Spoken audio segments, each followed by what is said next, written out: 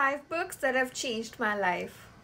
This one talks about law of attraction and how thoughts can change lives, talks about how self-love can solve anything, emphasizes on defining our passion, talks about creating life of your dreams, talks about embracing and confronting painful truths.